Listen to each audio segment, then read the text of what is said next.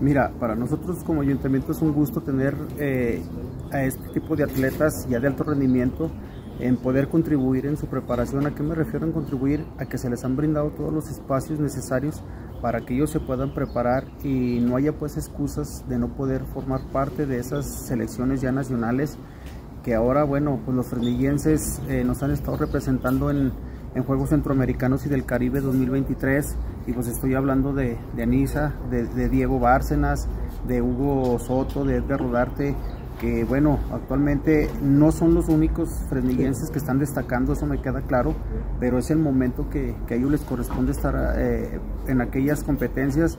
Y nosotros como ayuntamiento, te repito, contento, pero más que como fresnillense, como ayuntamiento, eh, como deportistas, eh, nos sentimos orgullosos de ellos y bueno, pues esperamos el mejor de los resultados. Anisa por ahí creo que ya anda terminando sus competencias, pero creo que hasta el momento ha sido la mejor jugadora que ha representado el básquetbol a ese nivel y, sí, y es fresnillense. Entonces, contento, orgulloso de tenerla aquí. Vamos a hacer lo posible porque, porque esté aquí un Fresnillo, mínimo que sepa la gente local quién es, quién es, que sea una mentora para las nuevas generaciones y nos vamos a dar la tarea de, buscar la, plática y, el convivio con ella principalmente.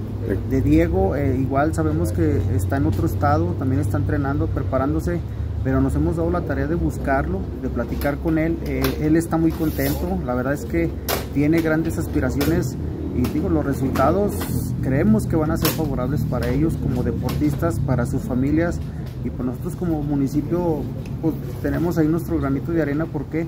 Por ser fresnillenses, ¿no? Pero bueno, en el caso de Hugo y de Edgar, son actualmente son los dos atletas que tienen el mejor nivel, el mejor ranking a nivel nacional. Eh, entonces, pues estamos esperando el resultado. Eh, vamos como la tercer potencia eh, en estos Juegos Centroamericanos, en el caso del BMX. Pero bueno, tenemos la fe y la confianza de que van a hacer un buen papel.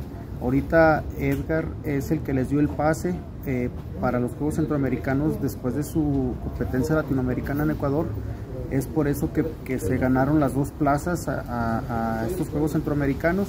Y pues digo, contento, contento y esperando el mejor de los resultados para ellos. Ojalá, ojalá y el deporte eh, o los deportistas frenillenses volteen a verlos a ellos y que sepan que sí se pueden. Ellos también soñaron estar ahí y ya lo lograron.